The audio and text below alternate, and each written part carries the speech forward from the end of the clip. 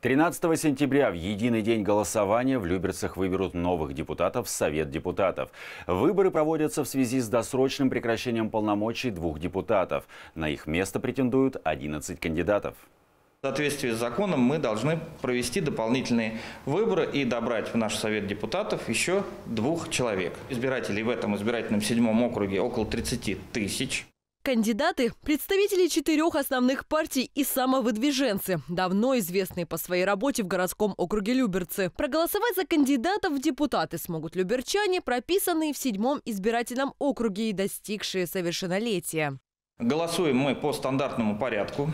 Значит, э, э, также у нас будет организовано досрочное голосование. Со 2 сентября по 12 сентября можно досрочно проголосовать э, в территориальной избирательной комиссии. Там отдать свой голос можно в будние дни с 16.00 до 20.00, выходные с 10.00 до 14.00. Для тех, кто в силу различных причин не сможет выполнить свой гражданский долг на избирательных участках, организуют голосование на дому. Для этого необходимо подать заявление с 3 по 13 сентября. Участковые избирательные комиссии будут принимать заявления в будни с 16.00 до 20.00, выходные с 10.00 до 14.00. Само голосование на дому будет проходить 13 13 сентября.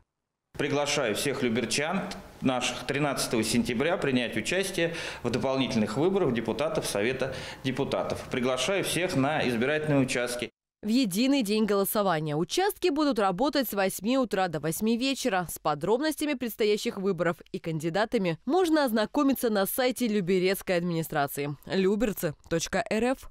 Анна Троян, Петр Пономаренко, телеканал ЛРТ.